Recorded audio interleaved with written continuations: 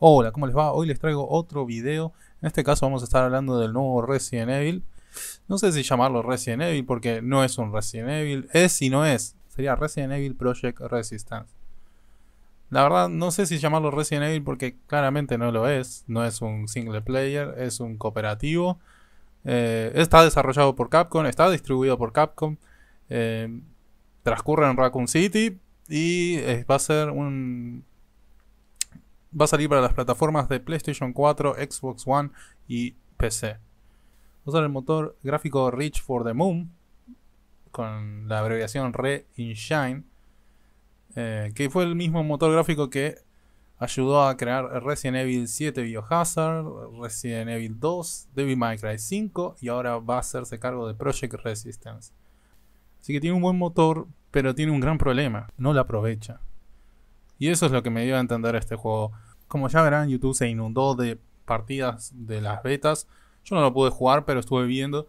Y realmente ni siquiera es interesante de ver el juego. No sé por qué. Siempre hablo bien de todos los juegos, pero me dio la sensación que este juego es un gran desperdicio para lo que sería la saga de Resident Evil. La verdad que da un poco de lástima saber que desperdiciaron esta oportunidad, porque Capcom había empezado muy bien el año. Había sacado Resident Evil 2 Remake, tuvieron un muy buen feedback del juego, sabían que a la gente le gustó, entendieron eso y no lo aprovecharon. No sé por qué. Después, más tarde en el año, sacaron Devil May Cry 5. A la gente le gustó. Entendieron que a la gente le gustó eso. Y en vez de aprovechar todo ese feedback positivo, vienen y hacen este juego. A ver, no es malo, pero no suma nada. La verdad es que no suma nada. Parece como que lo sacan por, por sacar. Ni siquiera sabemos, no, sabemos si tiene modo historia. Ni siquiera sabemos si tiene modo historia. Son solo cuatro personajes. No sabemos si van a agregar más personajes, más mapas. Y si todo lo que agreguen nos lo van a cobrar. Si va a haber DLCs, lo cual sería una terrible cagada. Ahora, si esto no tiene DLCs, no tiene expansión, es muy corto el juego. Se queda muy corto. No tiene. No tiene futuro. El juego está. El juego técnicamente entra a competir con otro juego que es más o menos similar en el género, que es muy famoso y que muchos de ustedes lo conocerán, es Dead Bad Daylight. Ok, me cuesta pronunciar esto, no sé por qué. Dead Bad Daylight, Dead Bad Daylight. Dead by Daylight. Exacto. Dead by Daylight. Exacto, Dead Bad Daylight. Muerte a la luz del día. Que es otro juego que es más o menos de este estilo, es muy similar, pero lo que tiene ese juego a favor es que, uno, ya tiene una comunidad detrás, que hay mucha gente jugándolo. Dos, tiene actualizaciones bastante seguido. Y tres, Resident Evil llega tardísimo a este género. Ya se le está pasando el cuarto de hora. No tiene sentido que lo saquen ahora. Eh, es como que, bueno, voy a aprovechar el éxito de este juego y voy a ver si puedo robar un par de ventas. Pero realmente no sé si va a funcionar. Y además, un juego single player, cualquiera, inclusive uno que no salga bien me parecía mucho más interesante. En este juego dependes de la coordinación con tus compañeros. Que por lo que vi en los gameplays que vi, hay gente que ni siquiera entiende qué hay que hacer y que está bien, ¿no? Es normal, es el primer día de la beta, no tenés por qué saber qué es lo que vas a hacer. Pero mientras ese personaje no sabe qué hacer, el cerebro, que vendría a ser el tipo que tiene que evitar que ellos avancen, les va spameando bichos, uno atrás de otro, y termina ganando por, por cansancio, porque los, le spamea el mapa de una manera increíble. O sea, parece no estar muy bien balanceado el juego.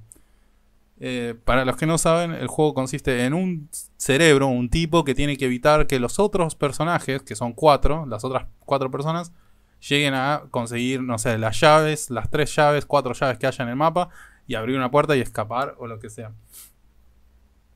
Es técnicamente el mismo concepto que el otro juego que les decía el cerebro tiene que evitar eso. Mientras tanto, el cerebro puede poner trampas, usa cartas, usa zombies, usa todo lo que tiene en su poder para evitar que esas cuatro personas logren su cometido. Mientras él va haciendo daño o a partir del tiempo, él va consiguiendo más, más poder, digamos. Pero bueno, nada, dependes de la coordinación de otras personas, o sea que si no juegas con amigos vas a entrar a sufrir casi. Te convendría jugar de cerebro porque la verdad, si dependes de otra persona, he visto He visto más de un video donde hay una persona que tienen que avanzar y decide trolear la partida. Además, este modo de juego es muy similar al Left 4 Dead 2. No sé si se acuerdan, Left 4 Dead 2 Versus, que es del año 2009 ese juego. Si ustedes quieren. ahorrarse plata y quieren jugar ese estilo de juego, vayan y juegan Left 4 Dead 2 y se ahorran todo el dinero. Consiguen cuatro personas y encima es más divertido porque juegan 4 versus 4. Así que es mucho mejor. Nada, me dio la sensación esa de que Capcom perdió una gran oportunidad y que hace dos bien y una cagada, como siempre. Así que seguramente no vamos a tener un Resident Evil 3 remake o no vamos a tener un Resident Evil. Quizás a fin de año, quizás a fin de año digan algo, pero no sé. De momento vamos a tener que seguir esperando un buen juego de Capcom que parece que la sigue cagando. Ah, por si no lo sabían y les interesa, porque como saben Capcom está pensando en Resident Evil todo el tiempo, pero saca cualquier cosa menos lo que el jugador quiere. En este caso sacaron a Leon y a Claire para Monster Hunter War Iceborne. Sí, porque ustedes lo pedían. Si quieren, acá pueden ver unas imágenes de lo bizarro que es esto. Aparece Mr. X también.